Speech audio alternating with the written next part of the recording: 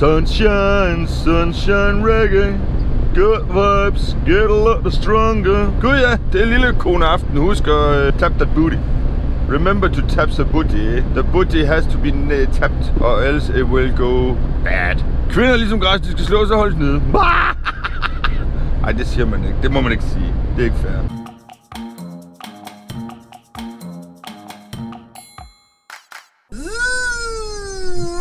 Godmorgen, godmorgen. Mit navn er Brian, og du er land på den danske bombas, min kanal. Velkommen til.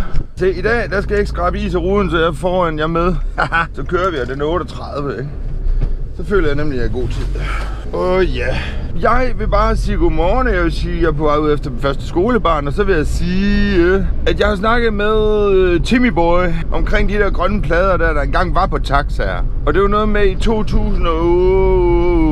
18, 2018, der ophørede det med at skulle køre med de der. Så nu må du faktisk søge hyre i hele landet på grund af de grønne plader der. Altså, at de er væk. Og det, det vidste jeg ikke. Jeg troede, det havde noget med, jeg troede, det havde noget at gøre med, med, med de her forskellige vognmænd og, og, og hvem de hørte til og så videre og så videre. Men det har det simpelthen bor af. Det har det bor af. Nej. Så, så hvis, hvis du ikke vidste det, så ved du det nu i hvert fald. Men jeg vidste det ikke før, så jeg synes, det var rart nok at få det at vide et eller andet sted. Ligesom at have noget at forholde sig til, og hvorfor, hvorfor, øh, hvorfor ting er, som ting er. Men jeg vil bare sige det. Og så øh, var der... Øh, var der ikke en anden ting, jeg også gerne vil sige? Åh, oh, hvad var det? Var det var det? Uh, jeg fik lov til at låne støvlen i går.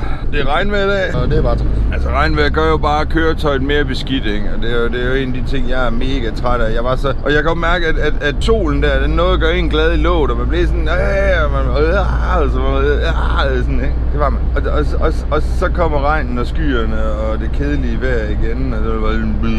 Ja, men altså, vi bliver jo vær, vær deprimeret. Ej, det hedder det nok ikke. Det hedder, det hedder nok heller ikke vær deprimeret. Det hedder, det hedder, at vi bliver påvirket af vejret. De mørke tider er jo forhåbentlig ved at være over, og ikke over os. Men over, over, over og under. Men vi ved jo, der kommer en ny periode lige rundt om hjørnet, så snart sommeren er over jo. Ja, det gør vi nemlig. Jeg var, jeg var ude efter første skolebarn, så jeg tror jeg bare, jeg vil lukke den der og så sige, godmorgen, godmorgen, godmorgen. Vi står op, vi er i gang. Så sker det nu. Vi ses, når skolebørnene lige kørt. Kan du hygge dig? Nej. Moin så længe. Det vi snakke med om tidligere, det var hørebøffer. Nej, slutter. Men det har vi også snakket med om. Nej, det har vi snakket med om tidligere, det var de der smart batterier der. Var det ikke det? Jo, det var det. Smart batterier har øhm, Christian Drastrup, han har været inde og kommentere på den video, hvor jeg stiller spørgsmål. Hvad del sker der for de batterier, de der er helt dumme oven i hovedet? Det smarte i dem er faktisk, at de aflader, hvilket jeg synes er noget mærkeligt noget, fordi det er lithiumbatterier. Men igen, som man så siger, de aflader til en kapacitet, som ikke ødelægger batteri. Okay, det er egentlig meget smart egentlig. Det er jo smart. Men så smart synes jeg heller ikke, det er. Fordi når jeg så står og skal bruge et 100% batteri, så har jeg ikke et 100% batteri. Så det godt være, at jeg ødelagt levetiden på det, at det ikke holder så, øh, så mange uger, år, uger, uger, uger ude i fremtiden uger. at det ikke holder så mange år ud i fremtiden. Men jeg vil da hellere have et batteri, der, der er 100% ladet op, når jeg skal bruge det 100% ladet op batteri. Hvis jeg forventer, det er 100% ladet op, så putter jeg det i maskinen, og så flyver man, og så finder jeg ud af, at den kun 57%, så har der lyst til at slå et eller andet enormt hårdt oven i hovedet, og det bliver ikke min drone. Bare lige øh, en, en side info. Så tusind tak for det, Drostrup. Det var, eller øh, Christian, det var en dejlig, det var en dejlig forklaring. Og ja, der er også noget med amt. Nu når han pointerer det ud, så kan jeg lige så godt sige, Amter eksisterer ikke mere. Hvad er amter for noget? Det er, det er, øh, det er større end kommuner. Amter er jo sådan set amt. Vi havde Nordjylland, Østjylland, Vestjylland, Midtjylland, og, og jeg tror nok, at det var det, der var amterne. Jeg kan ikke huske det. Men som Christian, han er så sød at sige, øh, ja, det er så 20 år siden, de blev ophævet. Men det er jo bare, det er det der med, hvis du kan blive ved med at sige mere, så lyder det jo blæret, ikke? Altså, hvis du kan blive ved med at sige, du kan gå til næste skridt, ikke? Altså, lidt ligesom øh, boss level 1 og boss level 2 og boss level 3 og 4 og 5 og 6 og 7 og 8, 9 og 10. Hvis du kan finde på et 11. ikke? Hvis der kun er 10 level, ikke? men du kan finde på et 11. ikke? Så er det jo lidt federe, ikke? Så det er jo boss level 11, det der, mand. Amter. Fordi de er udgået. Jeg overvejede også at sige regering, men der, der, der, der stopper vi. Øhm, jeg kan også skrive til regeringen omkring en lille bitte rebil. ah, den, den hopper de nok ikke. Frøken statsminister, nu tager du lige sammen, og så tager du lige at få fikset de huller herovre i Rebil. Slut, brud. Gider ikke diskutere det mere. Læg dig. og så en anden ting, jeg også vil snakke med jer om, det er omkring de her... Øh, nu har jeg siddet og funderet lidt over det, ikke også? Dengang der var knægt, ah, her er måske et dårligt eksempel. Vi tager lige et andet eksempel. Lidt længere tilbage end, end min ungdom, eller min barndom, der var der øh, hørebøffer. Og det var en ordentlig mobbedreng, du satte uden på hovedet. Så havde du en stigebøjle over. Og så havde du så, så havde du så den her ledning, der gik fra den og så ned i din Walkman. Det var omkring, hvor Walkman den eksisterede. Fordi ellers havde du ingen grund til det. Jo, så havde du, at du kunne sidde derhjemme i din stue og nyde plader, altså LP'er, Ja, I ved ikke, hvad det er. Noget musik på en, en, en vinylplade. Kunne du sidde og nyde derhjemme i din stue, uden at genere resten af huset, fordi du havde hørebøffer. Og der var der sådan en flexledning til. Og Meget smart et eller andet sted. Og den her flexledning her, den blev transportabel, og, og stikkene blev mindre, og hørebøfferne blev mindre, og de blev mindre, og til sidst så var det bare sådan en, en latterlig grim, øh, gul, øh, blå, lyserød, orange, rød.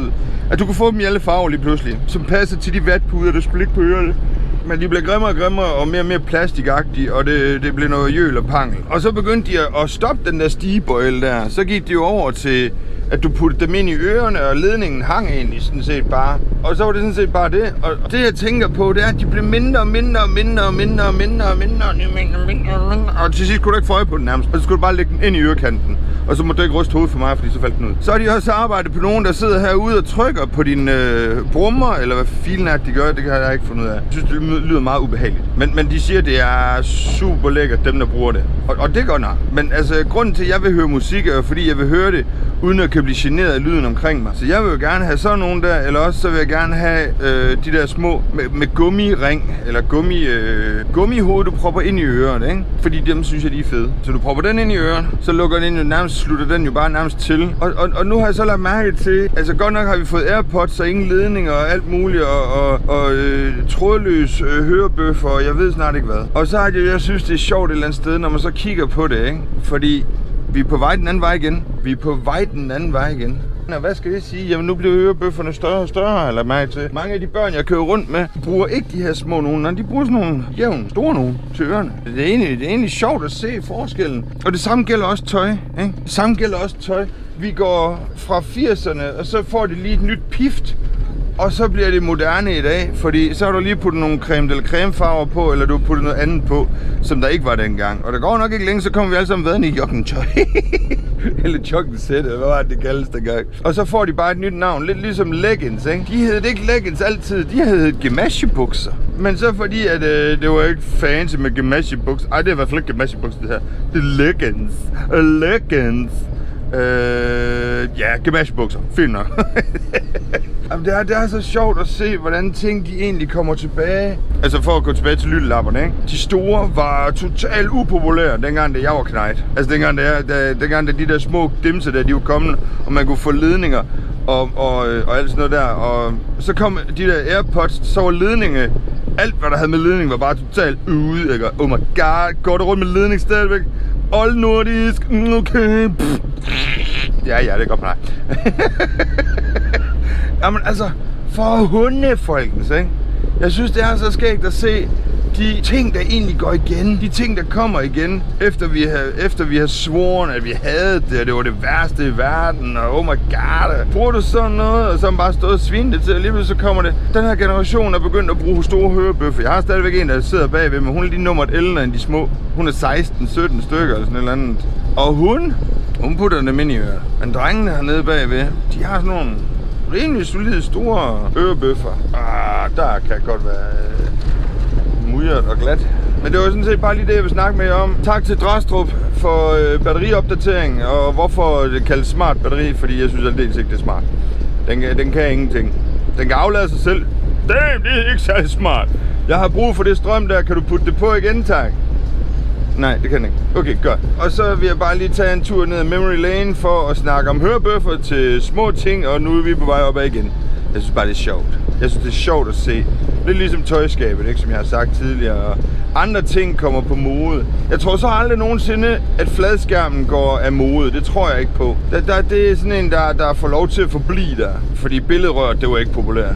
Det var fedt nok, men det var ikke, det var ikke populært. Det var fedt, fordi vi ikke havde andet. Men, men så igen, så har du så også noget som jeg sad nemlig lige og tænkte, hvad med højtaler egentlig? Højtaler. Der var jo nogen, der var nødt til, altså dengang det var nej, der var det store, solide højtaler, og de havde en plads i stuen. Så kom vi op i 90'erne, så var det fandme ikke moderne med høje, store højtaler længere dog. Ej, kan du få gemt dem væk, og kan du få gemt... Min far, han fik sådan to små nuttet, nogen der lige kunne stå ved siden af anlægget. De må ikke være højere og større end anlægget. Han havde dengang, det var knægt, der havde sådan nogle ordentlige nogen, der gik ned til gulvet, ikke? Dem jeg har i dag, jeg tror, de er 107 cm høje eller sådan noget andet. Nogle ordentlige strabasser. De står inde i stuen, pænt ved- plantet ved siden af mit, øh, mit tv og mit bænkbord og alt muligt andet. Og jeg skal love dig for, de skal ingen steder. Men så har jeg satellithøjtaler, og det er bare det, jeg tænker. Dengang min far, han var, dengang jeg var knægt, ikke? Min far, han er store højtaler. Så i 90'erne, så blev det små højtalere, de skulle nærmest gemmes væk, og de skulle nærmest ikke kunne ses og sådan noget. Og nu føler jeg sådan set lidt, at de der store højtalere, de er på vej tilbage igen, men det ved jeg ikke. Jeg har i hvert fald bare set en del high-five klub reklamer hister her på de sociale medier, hvor jeg tænker, okay, så store gulvhøjtalere er på vej ind igen. Eller også så er det fordi, de har et unikt look. Men hi-fi klubben er jo så også. Altså, folk siger, de er dyre, bla bla bla, men, men de reklamerer vist nok for, at de skulle have blevet lidt billigere, og de gerne vil gøre det til menneskelige priser. Men igen, du får altså noget, du, du, du får noget andet lyd, derinde, det gør du godt nok, end, end det du går ned og køber ned hos øh, Føtex og, og sådan noget. Jeg vil smutte igen. Det var slet ikke, øh, det var, det var ikke, øh, det var ikke det vloggen, der skulle gå på i dag. Jeg er på vej over for et tanke, hvis nogen skulle være i tvivl. Og vi mangler to streger. Uh.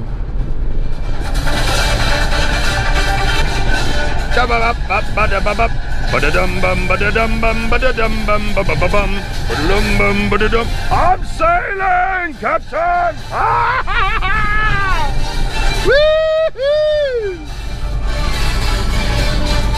Bum bum bum bada boom bum bada boom bum bum bum bum bum bum bada bum bum bum bada Bum bum bum bum bum bum bum bum bum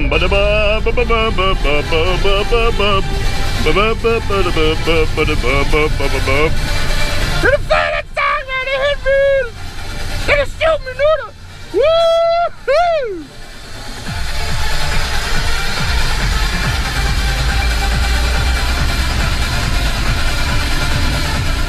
Jeg vil nok hellere lade være, inden vi får det der strike. Men den er, den er virkelig fed. Den giver mig tår i øjnene. Eller, ej, det gør den så ikke. Den giver mig sved i øjnene. Sved! Det er sved, det der. Hvis du ser noget inde i øjet der, så er det sved. Okay? Jo, så er vi enige. den gør mig bare så glad ind i. Jeg ved slet ikke, hvad jeg skal gøre ved glæden, så jeg sveder den ud. Den er syg, Brian. Den er syg. Ja, ja, ja, ja. Er det fedt at syg. Vi ses senere. Tanking is on the way, sing uh, easing. Uh, but, but, but, but. Uh, uh, he, he is a pirate, tror jeg nok. Med... Åh, oh, hvad er han her? Hvad er han her? Jeg kan ikke huske, hvad han her. Hvad her? DJ Chester selvfølgelig. He is a pirate med DJ Chester. Og den er bygget over Captain Jack Sparrow's music in the garden. Der skulle lige være lidt babse der. Nej, nej, der skulle ikke være babse. Fy for pøf for Brian. Hvordan er det, du snakker? Kan du lige tale ordentligt om de der piger der? Ja, ja det må nok have. Og hvis ikke, så kan jeg i hvert fald lige prøve. Ja, det gik ikke så godt. Min hjerne fortsatte. Vi ses lige om, lige om senere der. Så, så har jeg fået, har jeg fået 16 minutter. Er der 16 minutter her, eller hvad? Nej, men der er 14. Ej, du er med ved at have styr på den tidsfornemmelse der. Tidsfornemmelse. Se, der er ingen. Så slap af, ikke også? Slap af. Åh, oh, der er en bus. kan du flytte dig? Nu gør. Her kommer jeg.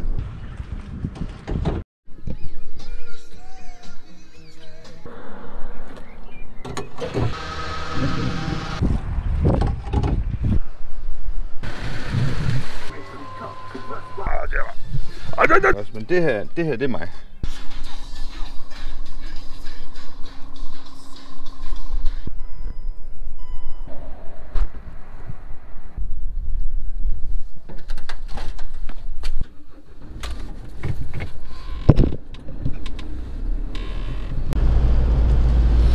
Jeg håber, men sanden folk kunne lide den lille sammenklipning. Det var en tosset idé, jeg fik, fordi jeg havde glemt at optage, dengang der var derovre. Og så fik jeg den idé, hey, hey, hey, jeg går da bare tilbage. Og så fik jeg den endnu mere tosset idé. Jeg går tilbage og genbruger det hele.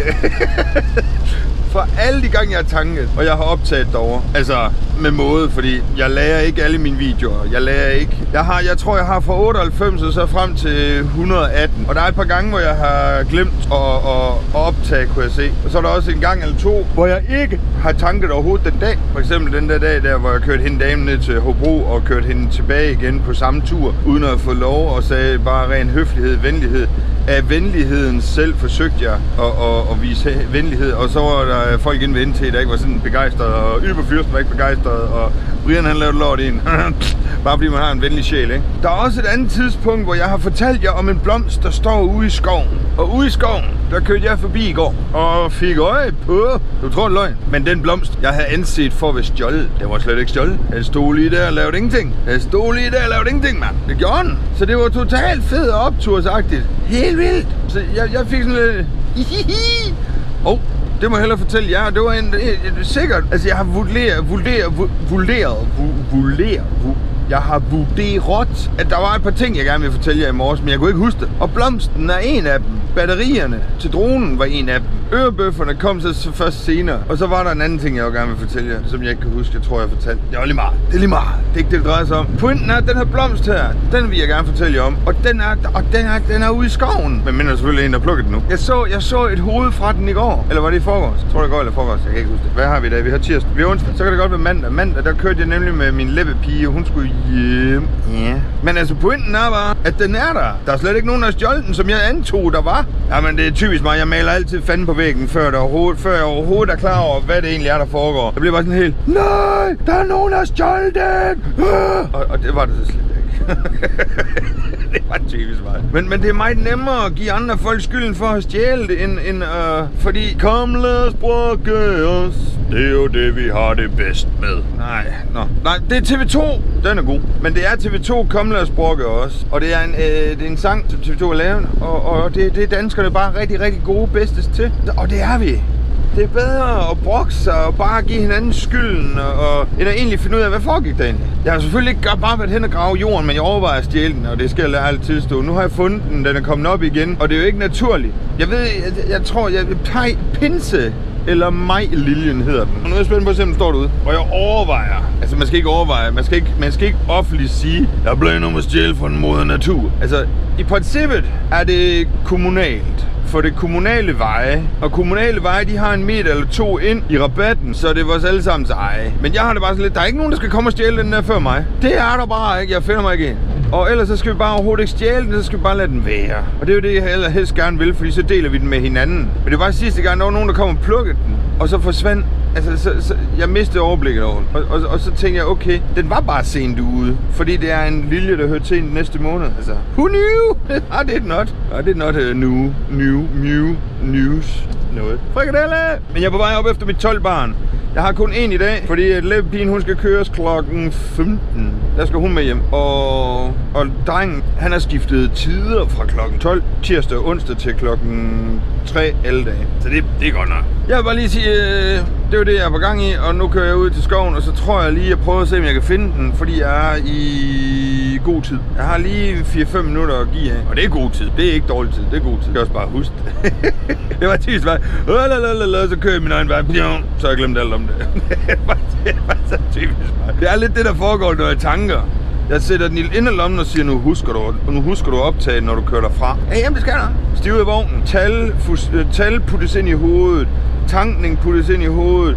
Så var der også lige det der privat der, der skulle skrives, og der var også lige det der, der skulle gøres, og bup, så med sådan ind i sædet, og bup, så jeg kørt, og så der, jeg sidder jeg sådan nede ved over ved Vebbestrup Ishus, og tænker, gud, jeg skulle optage What? Hva, hva, hva? Hold op med det. Og jeg vil ønske, at jeg kunne lade være med det. Jeg vil ønske, at, der, at, at, at privat ting samtidig ikke fylder så meget, som de gør, men det gør de altså. Nu har jeg snakket tilstrækkeligt. Vi ses. Jeg er ude i skoven. Og udkig efter den der. Prøv lige, prøv lige se her. Prøv lige se, hvor flot og orange den er. Ja, simpelthen. Jeg synes nu godt nok, der plejer at være mere af den. Og jeg synes nu godt nok også, der plejer at stå herover. Her. Men man kan jo huske forkert. Man kan jo blive gammel og sådan noget, ikke? Så, så derfor så... Øh... Men det står simpelthen der. Og jeg har simpelthen kigget herover det område her. For det var herovre, jeg husker den for at være, men det er det ikke. Og jeg husker den for at være flere end den der ene. Og så tænker jeg sådan lidt, om det eventuelt har noget at gøre med... Øh... Hvad fanden er det, det hedder? Om det har noget at gøre med blomsten og bin. De siger jo, der er mere, mindre og mindre ukrudt og færre og færre blomster og alt muligt andet til, til folket. Eller til bierne. Men den der, den er simpelthen så flot. Så den venter jeg på hver eneste år, og så nogle gange så vil jeg gerne ud og tage billeder af den, men den, den hænger lidt med hovedet, så den er nok lidt ked af. Og der er kun én i år. Det synes jeg faktisk er lidt uhyggeligt at tænke på. Der plejer at være en 4-5 øh, en 4-5 dimser, der stikker op der omkring den. Jeg kan ikke engang huske, hvordan fanden det gamle billede det så ud. For jeg har taget et billede af den, som jeg kiggede på under min stream. Hvor jeg sad og tænkte, det er den der, mand, det er den der. Yes. Så ved I det. Men det er den der. Ja, det var noget dækkelværk, så den oppe på stok. Ja, det var bare en zigzag, jeg sagde, rev den oppe stok. Ja, så rev den oppe på stok. Og sådan det var. Jeg har lige været over og læst mit 12 barn af, så jeg har hentet det. Så jeg har en lille smule tid, før mig og min datter sådan set skal til et møde. Men min datter, hun kommer nok højst sandsynligt i Skørping kl. 13.30, eller 13.27 eller 26 eller sådan. Det er omkring, som hun plejer at gøre. Fordi jeg har ikke fortalt hende, for at, det, det fortæller hende, når hun lander. Jeg tænker, så er der mere ro på, til, til jeg kan, kan lige... Vi skal først til møde klokken 14, det er om en halv time, så... Vil du have en is? Kan du spise en hvad fanden laver du, Knight? Ja, det, ja, det ved jeg sgu heller ikke, du. Øh, tydeligvis så tyrer jeg for langt. Ja, det, det synes jeg faktisk også, du gjorde. Det synes jeg faktisk også, du gjorde. Der kommer ikke nogen bag os. Nej, det var fordi, jeg er træt med at sidde og snakke med jer. Og jeg egentlig ikke lige tænkt over, hvad filen jeg har gang i. Jeg plejer da fint at kan dreje over, men det, det, det gjorde jeg så bare ikke lige i dag. Da vi ligesom bakker ind på en anden mands grund, så bakker vi stille og roligt, i stedet for at hastværk og lastværk og alt det der, du ved nok. Fordi sæt nu, man kørt ind noget, og man ødelagde noget. Nu kan jeg se, at ham der, han har sådan to halvkugle lys agtigt noget. Sådan en halv skal, eller en halv... Hvad hedder det? Du tager en cirkel og deler den op i tre, ikke? Og det er sådan en, han har haft til at sidde på væggen. Eller en bold. Du tager en bold og deler op i tre, så det skal være en massiv bold, ikke? Så tager du sådan en del, og så udhuler du den. Så putter du en pære og en helve og en ledning og en, og en ting og en sag ind i. Sådan, så der kommer lys ud af en for hunde. Jeg ved, ikke, hvad sådan en der hedder. Men den har siddet på den ene søjle, og den har siddet på den anden søjle. Den sidder stadigvæk på den ene søjle, men nu falder den af den anden søjle, og så kunne jeg godt lige få skylden for det. Kunne jeg ikke godt se det? Lidt ligesom der er nogen, der har forsøgt at klandre mig for at have bakket ind i en postkasse, fordi de så min bus bakke ind i den, så tænkte de, ha! Så tager vi lige det der telefonnummer og ringer op til dem, og så siger at vi har en bus, der er bakket ind i, øh, øh, ind i vores postkasse, og øh, det, det er den og den nummerplade. Så siger, så siger ham der så, hvad side øh, af, af køretøjet er det så? Og de gav registreringspladen eller nummerpladen. Og så går han ud, og så kigger han så på den, og så, så siger han, øh, Brian, har du pakket ind i en nummerplade eller ind i en øh, postkasse i dag? Nej, det synes jeg ikke. Du har været ude på den, den adresse, og du pakket den vej ind, og du kørt den vej ud, og, og, og sådan og sådan. Ja, den er god nok. Det, det, det gjorde jeg. Vi låner ikke andre folks køre, øh, øh, øh, vi låner ikke andre folks indkørsler. Nå, hvorfor ikke det? Jeg fik en opringning efter du har kørt, om at de havde, du havde påkørt deres postkasse. Ja, men når jeg kigger hen din side, i den side, som han snakker om, så er der ingenting. Nej, det kan jeg jo godt se, når du siger det sådan.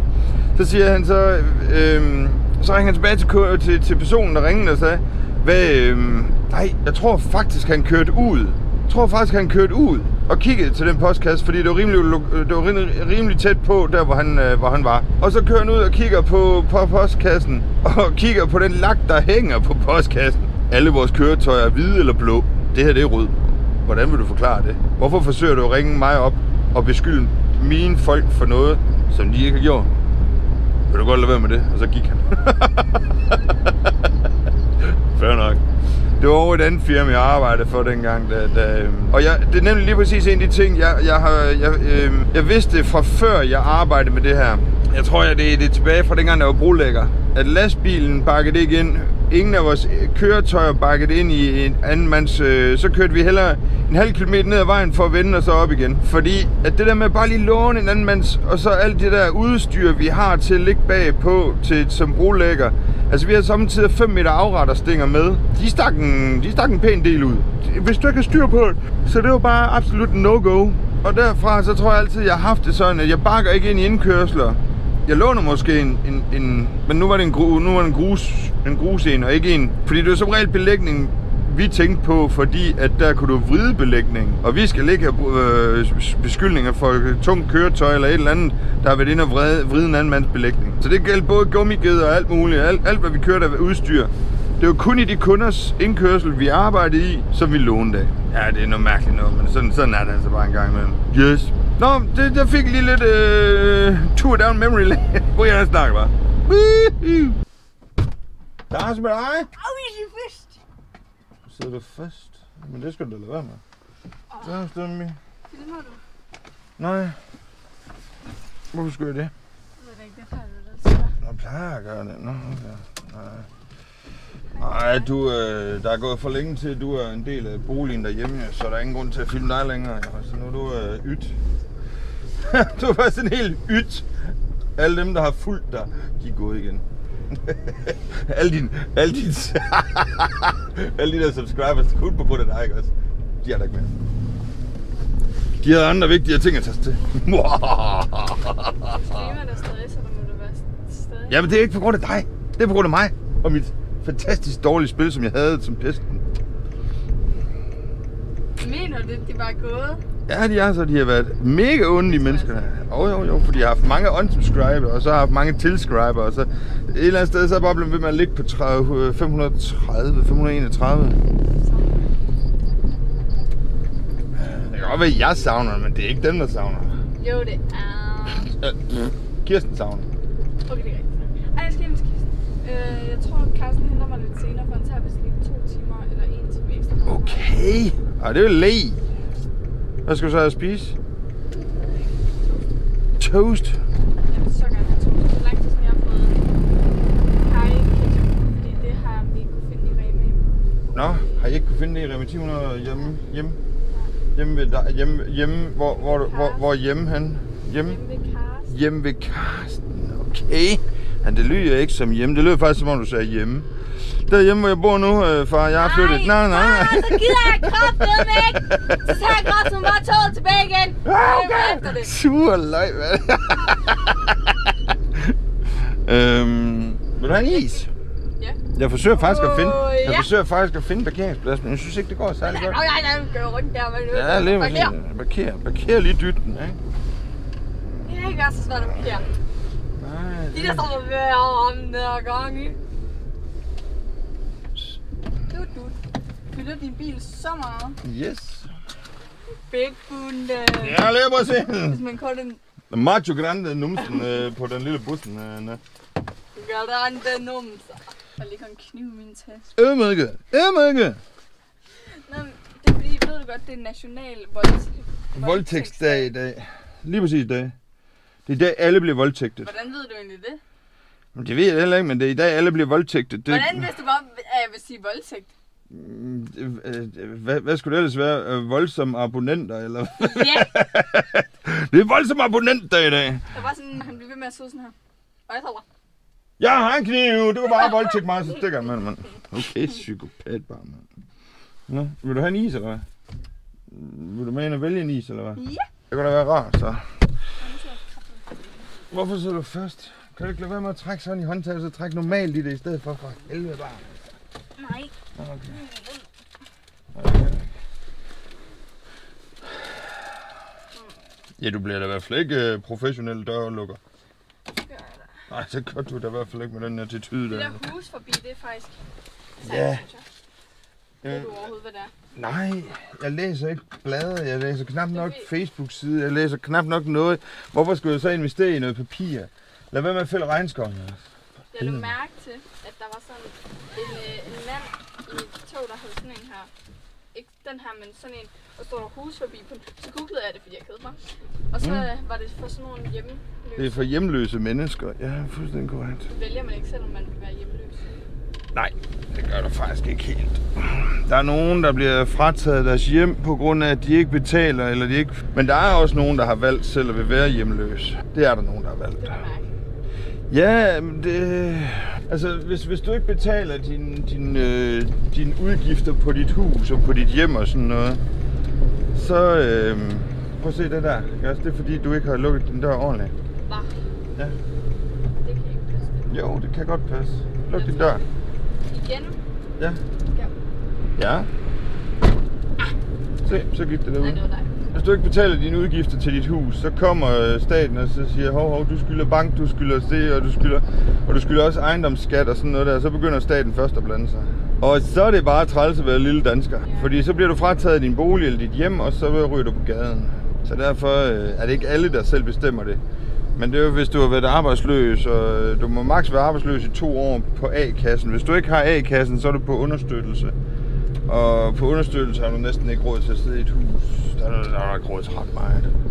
Jeg skal faktisk... Har jeg fortalt, jeg skal have sådan en der? Sådan en hus der, eller sådan en træ der, Nej, eller sådan en pind der. der. Eller... Nå, ja, ja, ja, ja. Det var derfor, jeg købte den.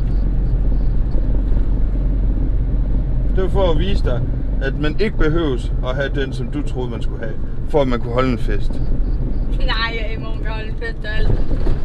Det er tit, jeg kunne holde en til sådan en lille højtaler. Ja. Så kan, jeg ikke, så, kan jeg ikke, så kan jeg ikke forstå, at du ikke har sådan en lille højtaler. Det har jeg da også. Jeg har sådan en her, men det er nok ikke lige det, man skal... Hvis folk skal høre en skole, man kan gå med sådan en her. Hvorfor skal man høre, at man kommer i skole? Fordi det er sjovt til sidste skoledag. Nå, til sidste skole da. Nå, okay. Der er der mange år til sidste skole da. Nej, sidste skole. Åh, oh, ja, det er rigtigt. Jeres skole lukker, det er rigtigt, ja. Og hvad har du så fundet, fra, fundet ud af? Lige nu vil jeg stadig på den der Vestermarindag. Vestermarindalsskolen. Okay. Vestermarindalsskole. Skole. Vestermarindalsskole. Er det skole? Vestermarindal. Skole. Passer lige med, at jeg kan holde af. Lige så langt som jeg er. Jeg fundet det på. Ja, det ved jeg kraftedeme heller ikke. Den er godt nok grim. Ej, det er fucking sejt. Nå, men det er fordi, jeg sagde, at det var grim. Så, hvis jeg så siger, at den er el og lavet af Tesla. Hvad? Ja, det er en elvogn, og den er lavet af Tesla. Den skal vi brænde. Ja, lige præcis. Så, så havde vi den. Det var godt. Så har vi det alle sammen godt igen, kan du mærke det? Æd din is, inden den smelter, barn. Jeg ved, må man godt æde den i bilen? Det her det er en bus. Hvis du taber noget, så smager. Det er sådan, det er sådan, det er sådan, det er normalt sådan, det 5 er. sekunders reglen tæller ikke i min verden. Nej, Det er... der er ikke nogen sekunder. Det, det, det, det, det er bare, ligger lortet på, på, på gulvet, så smager det. Og så ender det med at være mig selv, der ender med at svine det ud over det hele, ikke? Det ender med mig, der har spildt noget ned af skjorten. Det ender med at være mig, Trold Jørgensen. Okay, bare rum. Allerede! engang taget din første video. Nej, er det så?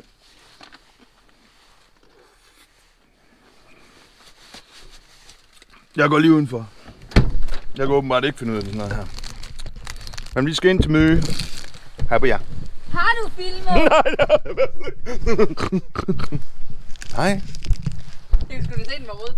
Uber, Uber sexy. vist Uber, Uber, Uber sexy. Ja, så det er ikke fordi, det er en Uber-bil eller bus eller køretøj eller noget. Nej, okay, cool. Vi har været inde og snakket med herren for sidste gang. Forhåbentlig for life. Vi ved det ikke. Men ellers så, øh, så, så går det nok. Vi skulle gerne forstå hinanden bedre nu, og vi skulle gerne øh, kunne alt muligt, og øh, dog ikke flyve. Det arbejder vi stadigvæk på. We're flying high. Men jeg er på vej over efter mine 15 børn. Og så ses vi, når de er sat af. Oj, For- det var fem spørgsmål. Hold da. Ja, 15 børn, ja. Jamen, ja, det er kun 9. Jeg kommer frem til... Gulby! Au!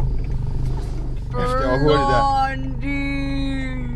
Men ved du hvad det hele er? Det sjove det er, at der plejer at holde en anden gul bil. En, der er en øh, Toyota. Så holder der lige en anden gul bil for en gang skyld i dag. Det var nederen. Eller det var ikke nederen, det var godt nok. Hvad er det for noget, du kører rundt? Nå, okay. Yes, vi ses senere. God, øh, god dag til jer, og så ses vi senere. Og så god dag til jer, og så, god, så ses vi senere. Blondie. Nej, det er faktisk en dulle, der kører den der. Mm. Abadul. Abadul, Abadul. Men det er sgu da ikke en blondie. Nej, Hvad er det for noget skab? det er en uh, terndrup. Det er en turndrup dys. Dysen bys. Nej, det er ikke. Det er en turndrup. Hvorfor kører der overhovedet Taxa. blondier helt heroppe? Det er fordi blondier, de hører til helt heroppe. Og du bor højere op end det her. Helt hernede. Ja, præcis. Så skal det lyde. Det forstår jeg meget. Det er meget godere. Kan vi godt nå den der? Det kan vi godt. Kan vi godt? Vi kan godt nå den, den der. Vi kan godt nå den der. Vi kan godt nå den der. Ah, Kom nu, kom nu, kom nu. Kør nu, bus. Kør nu, bus. Kør nu, bus. Ja. lige nu. Nå, okay. 80! Vi vinder! Ja! Det er fordi, vi kører hurtigere end dig, så vinder vi. Der er vist ingen grund til... Altså, der er regn på ruden, ikke? Og så, og så sidder man med solbriller. Det var da noget fjollet noget. Jeg vil bare sige, at øh, det var min dag for i dag. Jeg snakker med den der barn, der, der snakker helt med mig. Det har jeg helt glemt. Jeg helt glemt, hvor meget sådan en snakker egentlig. Øh, tydeligvis. Det forstår jeg slet ikke, hvorfor den snakker til mig. Men, men jeg har slet ikke stillet en spørgsmål til at snakke til mig. Så det er mærkeligt noget. Jeg er på vej hjem over. Vi skal have noget at spise. Jeg skal jo bare lige have handlet ind. Ja, okay. Altså, som... Åh, oh, har I glemt, den råber? Nå, men det har jeg ikke glemt. Det gør den meget i. Øh, stadigvæk. Åbenbart. Ja, det er sådan noget mærkeligt noget. Jeg tager lige ned, og så får jeg lige handlet ind, og så får hun lige sagt hej til Kirsten, og så får jeg lige noget mad, og... Ja, det synes jeg bare... Det er, der er ikke så meget at snakke om, altså. Så tusind tak, fordi du kiggede ind. Mit navn er Brian, og det her det er den danske brumbas. Hold den flyvende! Yeah.